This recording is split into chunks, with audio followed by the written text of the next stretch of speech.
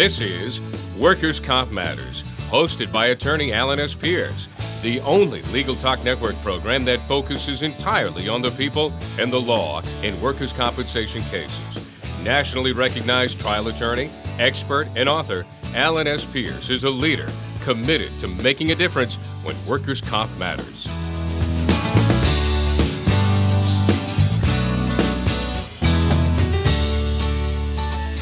Welcome to Legal Talk Network and Workers' Comp Matters. My name is Alan Pierce. I'm an attorney at Pierce, Pierce, and Napolitano in Salem. And we're bringing you another edition of Workers' Comp Matters with two guests Justin Beck.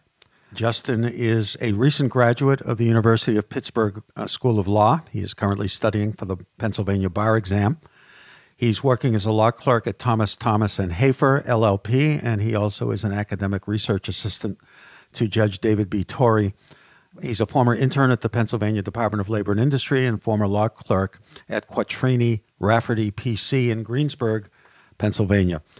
And uh, speaking of Quatrini Rafferty, our other guest online with us is Vincent Quatrini of the Quatrini Rafferty Law Firm. Vince is a founding partner, managing partner, concentrates his practice in the area of workers' compensation and the representation of injured workers. He has more than 40 years of experience and has, in looking at his resume, has done everything possible in leading the bar and his colleagues as probably one of the foremost practitioners and teachers and scholars of workers' compensation in the Commonwealth of Pennsylvania. We're going to be discussing a landmark case involving Frank Pawlosky and an essay that Justin wrote about this case, which is now 30 years old. So before we do that, first of all, I'd like to welcome Justin and Vince, who are speaking to us from Pennsylvania. Hi, guys. Hey, Alan. Hello. Thanks so much for having us. Before we begin, I'd like to thank our great sponsors, one of whom is Case Pacer. Case Pacer is a practice management software system dedicated to the busy trial attorneys. Uh, to learn more, go to casepacer.com. And our other sponsor is PI Now. They are qualified private investigators. You can find a local qualified private investigator anywhere in the country by visiting pinow.com to learn more. So, Justin, I'd like to start with you because sitting on my table in front of me is an essay that you wrote. It uh, has a logo of the Rolling Rock Extra Pale beer product that uh, presumably is still manufactured in Latrobe, Pennsylvania. And the title of your essay is From the Glass Lined Tanks of Old Latrobe 30 Years of Pawlosky. So, tell me, what is it about the Frank Pawlosky case that led you to commemorate 30 years of the landmark decision that came down uh, from the Pennsylvania Supreme Court? Well, it's kind of interesting. Um, of course, the case itself, uh, decided in 1987, still has major impact on Pennsylvania practice today.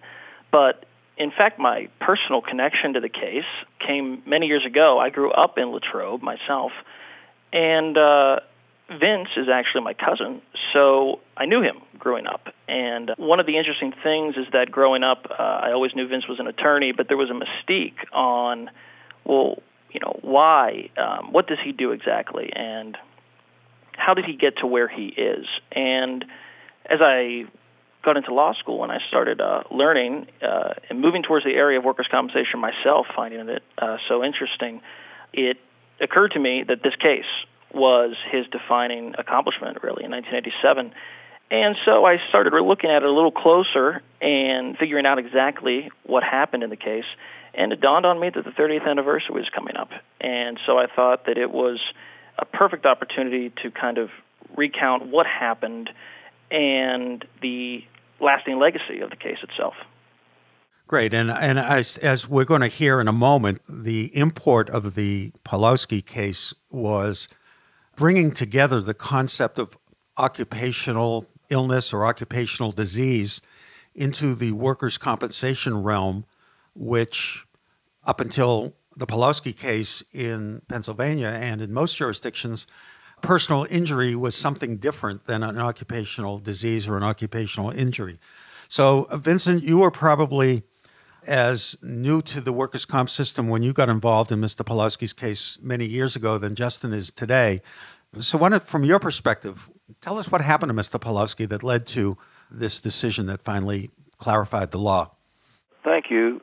So, as you pointed out, I was only a few years out of law school when I had the opportunity to meet Mr. Pawlosky through my mentor, Morrison Lewis, an older practitioner who had filed the claim and handled the first hearing and said, Here, you run with this. And naivete is a wonderful quality uh, because it it shields you from not taking chances, right? So you you figure that uh, this gentleman who cleaned the beer vats at the Latrobe Brewing Company where they made Rolling Rock, he would use strong chemicals to clean the vats. He would be inside the vats, and over time, he his breathing got worse. He came to the job with asthma, but that asthma was controlled, and he worked with it. But now, over the course of time, these chemicals aggravated his asthma to the point where he could not work anymore. And so, with my new legal eyes, I thought, well, this must be a workers' comp injury. He's at work. The atmosphere, conditions at work caused his problem to render him unable to work. He should get a weekly check. And so that's uh, the basis on which the claim was filed, and we began to litigate it, Alan. Okay. And it didn't go well initially for him. Correct. Tell us why. Well, in Pennsylvania, uh, as you pointed out, as in many jurisdictions, they had a specific set of occupational diseases that you could qualify under black lung, asbestosis, byssinosis, and then you had your injury claims. Well, mine was somewhere between the two. This was not an occupational disease, it was a worsening of a pre existing condition. And so the referee, following precedent in Pennsylvania, concluded that I had not met my burden under the occupational disease provisions, nor had I met my burden under the injury provision of the Act, and he denied the claim. Right. And in reading the summary in Justin's essay regarding the denial of the claim, I don't think it was disputed that his work played a significant role in rendering him disabled by aggravating the asthma. It's that whatever happened to him didn't fit into the two categories that would allow recovery occupational disease or personal injury. Is that kind of their rationale? Exactly. Uh, what I always appreciated about the judge before whom I appeared was that he laid the case out that way. His sympathies were with Mr. Pawlosky, but the law was not with Mr. Pawlosky.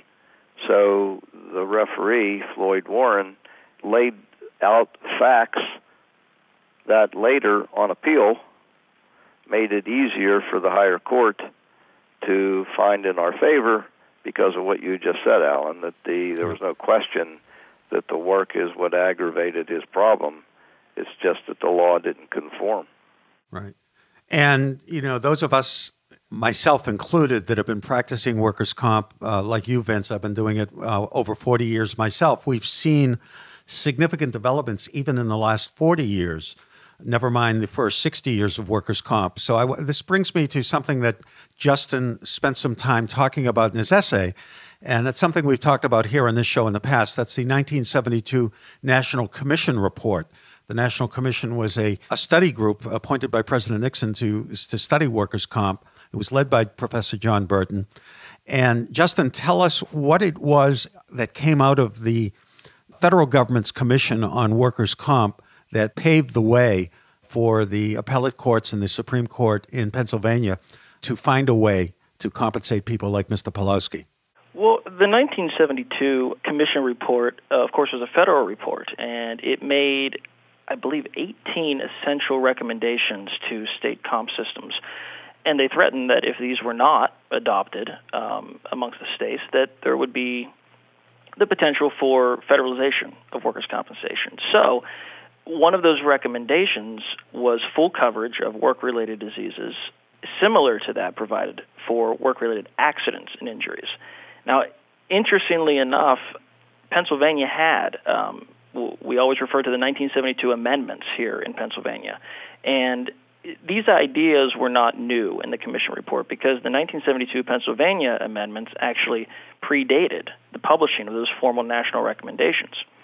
And and this is where Pawlosky really, yes, Frank Pawlosky filed his claim petition in 1977, but the change in the law began in 1972, and those 1972 amendments actually changed the term of the compensable event recognized here in Pennsylvania from accident to injury. And in doing so, it removed a statutory requirement of what they required as violence to the physical structure of the body. And so, in that way, it became decades of figuring out well, what does injury mean? Now that we've changed the term, what connotation does that have and, and what effect does that have on compensability in the state? And around the same time, in trying to struggle with the definition of injury, we were seeing a lot of these cases in the uh, arena of people who suffered psychological or psychiatric trauma in the workplace. And many jurisdictions did not recognize a psychological or psychiatric diagnosis or trauma as being an injury uh, as defined in their local workers' comp, and it certainly isn't an occupational disease. So a lot of what maybe what Pawlosky stood for also was beneficial to those of us when there are other types of clearly work related conditions that just don't neatly fit into the definition of personal injury or accident. Right. It's true, but interestingly enough, on that point in Pennsylvania, to this day, certain mental injuries require a higher burden to show an abnormal work event when it is a um, mental cause and a mental injury. Whereas Pawlosky, for all other injuries, there's a quote from the case itself that says, We now hold that uh, an employer takes his employee as he finds him, a thin skull, glass jaw doctrine. But the, the only remnant of higher burdens um, for specific uh, elements in Pennsylvania is still this mental mental injury uh, that has a different standard of uh, a different burden of proof than the rest. Mm-hmm. Yeah, in fact, I'd like to get into burden of proof and causation standards uh, as it might apply to a Pawlosky type situation now. So, Vincent, we kind of left it off with you that it was denied by the referee, which I guess is what passes for either a hearing officer, a commissioner, or administrative judge in different jurisdictions. I think you no longer refer to them as referees in Pennsylvania. What was the appellate course, just very quickly, from that point of denial, even though the judge or the referee gave you some helpful language? The second step in Pennsylvania is what is described as the Workers' Comp Appeal Board. So you're still in the administrative structure of the Pennsylvania Department of Labor, they also denied the claim. They affirmed the referee's denial. They cited a case that was my nemesis at the time called Plasteel. And in Plasteel, the court had created a fiction that they called disease like. And I won't try to explain that in our limited time. But uh, again, back to my naivete, I kept saying, well, there, what is disease like? It's either a disease or it isn't a disease. And they also held that under this one provision of the Act, I didn't show there was a greater incidence of this kind of problem in the beer industry than in the general public. So I uh, struck out for the second time. The next step in Pennsylvania is the Commonwealth Court. And so now in 1984, about seven years after beginning the process, we were in front of the Commonwealth Court, Alan. Mm-hmm. And is that uh, like the Superior Court trial court, or is that an appellate body uh, with more than one judge or justice? It is an appellate body, so you leave the administrative system, go over to the Pennsylvania appellate courts, starting at the Commonwealth Court, typically seven judges, or in many other jurisdictions, they have panels. So three judges will hear a case, but if it goes court en banc, that means all seven. And uh, we argued the case in front of the Commonwealth Court, and the court, although they did not identify which specific provision of the Act I had proven my case under, they overturned the decision of the judge and uh, the appeal court. And at its core, the Commonwealth Court was establishing the idea that any work related harm is compensable. So that was a break from legal precedent and tradition, at least insofar as asthma cases or yep. things like that, correct? Exactly. Aggravations were not recognized prior to this. And so now the next step the uh, insurance company and the employer then appealed to the Supreme Court of Pennsylvania. Now, is at that level, is it discretionary with the Supreme Court to take it, or is it an um, an automatic appeal if they file it? It is discretionary. You file a petition for allowance, and uh, the court, as uh, our colleagues across the nation would recognize, only a handful of cases are accepted to the Supreme Court. And I would assume the Supreme Court, in making a decision whether to accept a case for a discretionary appellate review, really looks at how much of a change or novel decision that they're going to write.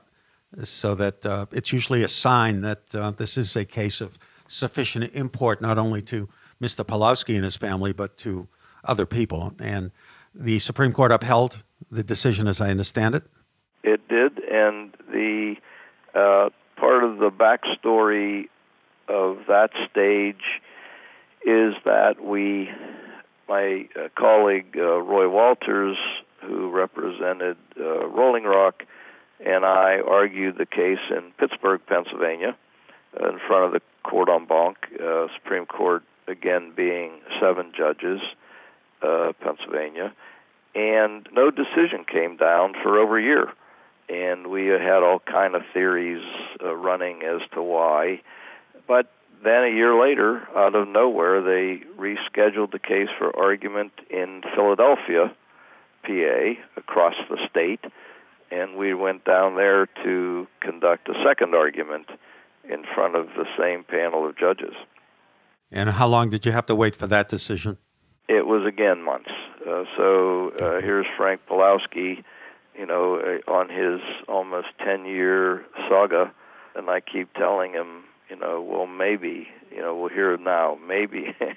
and so it went on for at least, I think, 16, 17 months from the first argument.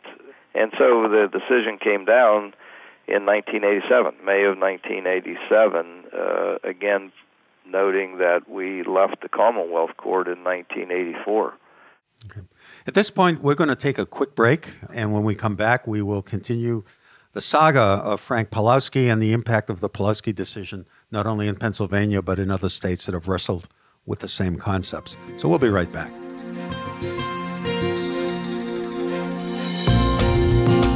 Case Pacer is the leading practice management software for today's workers' comp and plaintiff's attorney. Named one of the fastest growing companies in America by Inc. magazine We've given attorneys and their staff the ability to work from anywhere on any device. By automating workflows and streamlining non revenue generating tasks, CasePacer enables firms to grow their practice at minimal cost. To see CasePacer in action, contact us today at casepacer.com.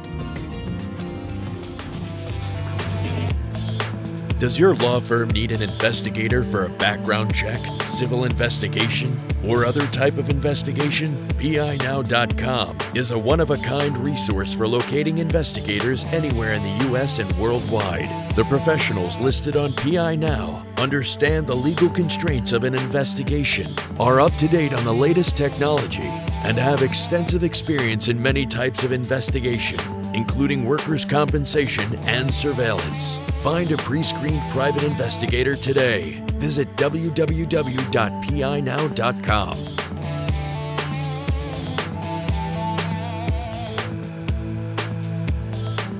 Welcome back to Workers' Comp Matters with Justin Beck and Vince Quatrini talking about Frank Pawlosky. Vincent, where we left off was we finally in 1987 you got the end of a 10-year odyssey for Mr. Pawlosky. I'm assuming he went without any compensation benefits during this entire period.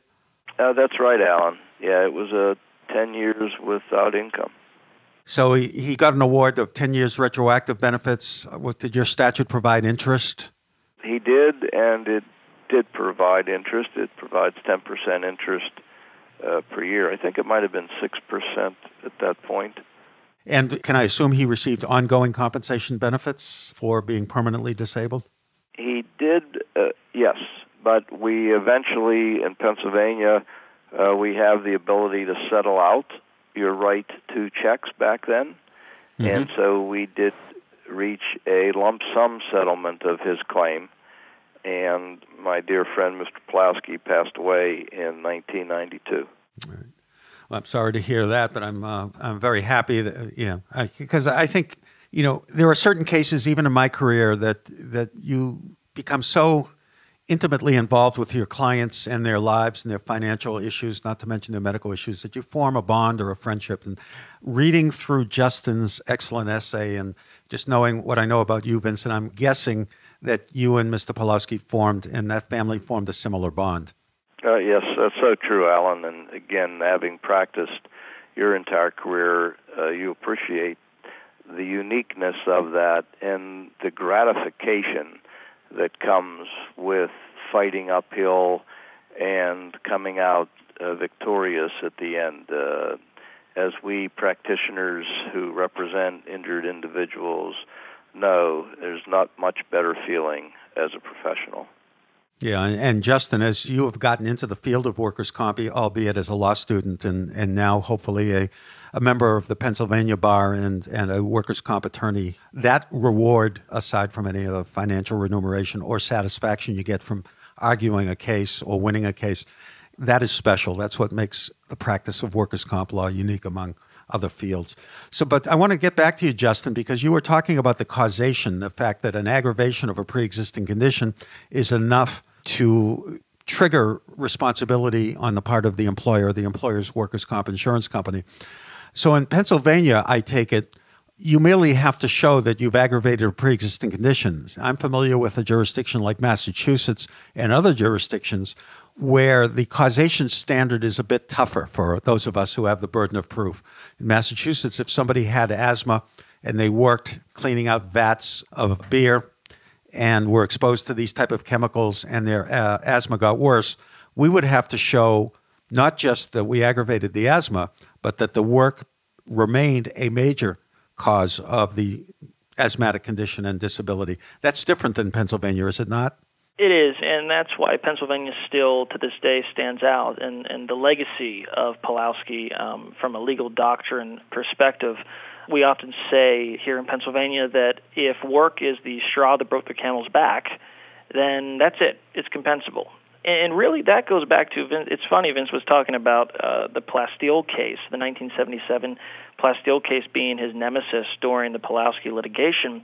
But in fact, there were some elements of that case helping him because um, at the same time in Plasteel, you had a uh, underground coal miner who, for 32 years, uh, worked in the mines, and then he transferred to a new employer, and it was just mixed dust at that point that turned his pre-existing condition into a totally disabling condition and the court was, in that sense, moving towards what would ultimately be the Pawlosky doctrine.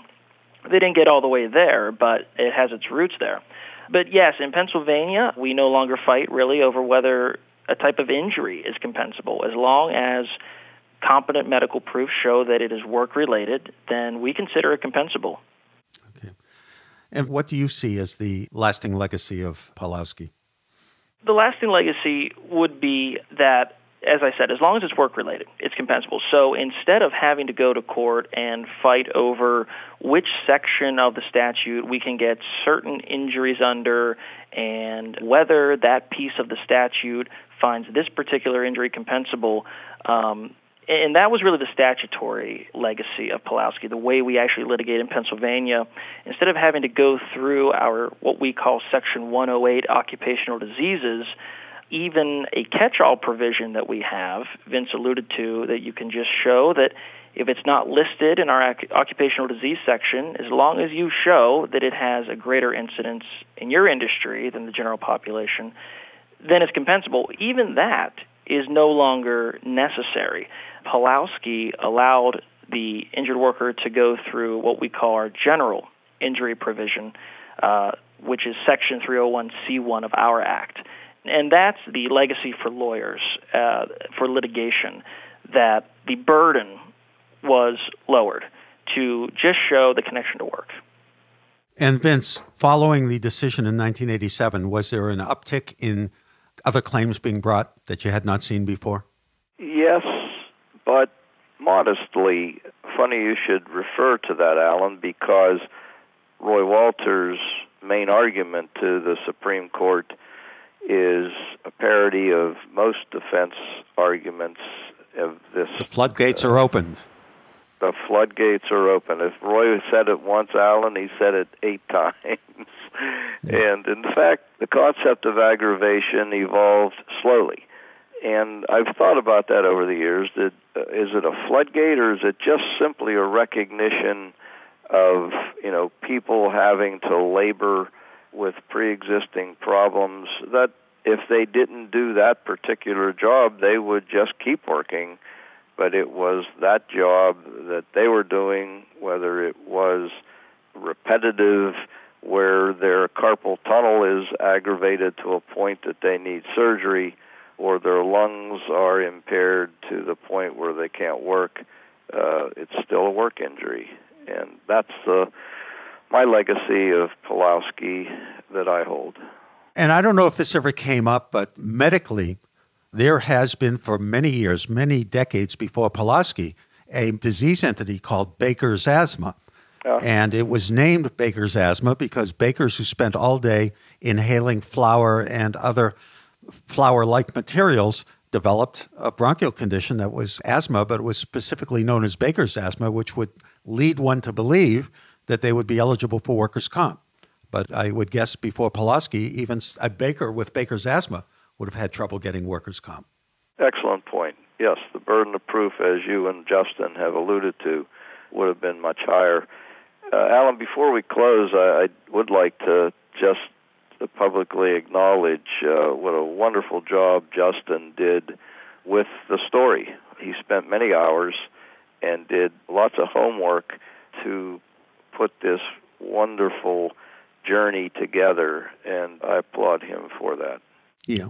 And before I ask Justin to tell our listeners how they might be able to download and read this, unlike law review articles or scholarly, academic, boring case studies, this is punctuated with photographs, with actual copies of the filings. There's one thing that caught my attention was like a little interoffice handwritten memo, Vince, uh, when you started the case. So, you know, a reader, especially somebody who handles cases like this, we're not just reading the the legal story, but we're getting a picture of both how this impacted the lawyer as well as the client. And Justin, I will echo uh, Vince in congratulating you for a unique approach to telling this story. So, for our listeners who might want to read it and appreciate it more, how can they get a copy?